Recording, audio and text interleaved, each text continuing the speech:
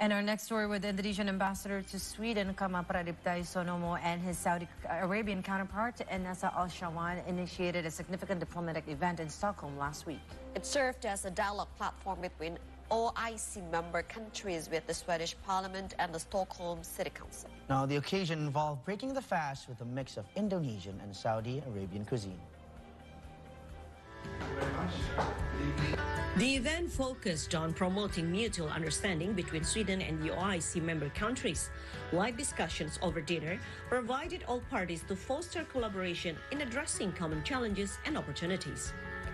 This prominent diplomatic gathering took place at the residence of the Saudi Arabian ambassador to Sweden and was convened through the joint efforts of the Indonesian ambassador Kama Pradipta Isnomo and the Saudi Arabian ambassador to Sweden, Enas Al-Shawan, to invite the Swedish Speaker of Parliament Andreas Norlén and the President of Stockholm City Council, Olle Burell.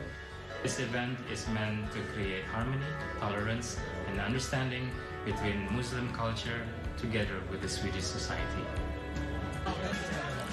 During the event, a highlight was made to show similarities of the West and Southeast Asia's culinary heritage, with the ambassadors presenting a delightful array of Indonesian and Saudi Arabian dishes as part of the Ramadan breakfasting dinner.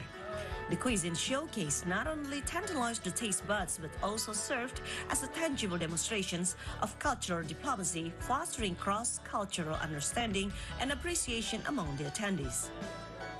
Recent developments such as Sweden joining NATO and the situation in Gaza were discussed in a cordial and candid manner over iftar. The two guests of honor took the opportunity to deliver a message of peace for Muslims in the auspicious occasion of Ramadan. I would like to wish all Muslims Ramadan Kareem.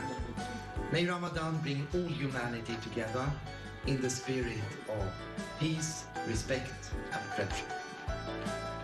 It's an honor for me to express my wish for a time of reflection during Ramadan, which actually this year goes together with the Christian Lent, the fast period, which gives us all the opportunity to reflect on solidarity, and also for all the people that suffer today and to be grateful about the life quality that we have ourselves. As Sweden continues its engagement with OIC member countries, such gatherings serve as catalysts for fostering deeper ties and forging meaningful partnerships in pursuit of shared goals and values. Manu Muhammad Ligar reporting for SEAToday from Stockholm, Sweden.